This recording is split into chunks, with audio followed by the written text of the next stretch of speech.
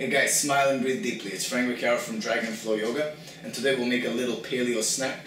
So, believe it or not, I got this idea from Pee Wee's Funhouse when I was a little kid, and before he got canceled for God knows what. And so, his snack was actually you take peanut butter and you put it inside the celery stick. We're gonna use almond butter today as it's more paleo friendly, and so I'm gonna show you what you need, which isn't very much.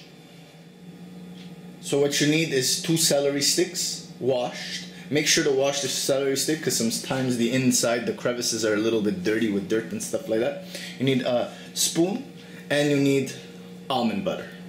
You open the jar of almond butter, you take the spoon, you take a chunk of almond butter, and you put it inside the celery stick and you spread it. Basically, you fill the crevice. Try not to make it overflow because you're going to have a mess of almond butter but enough where it's quite tasty.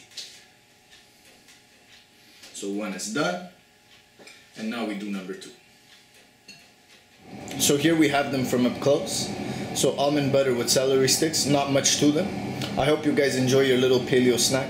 Feel free to visit us at www.dragonflow-yoga.com and have a beautiful day. Namaste.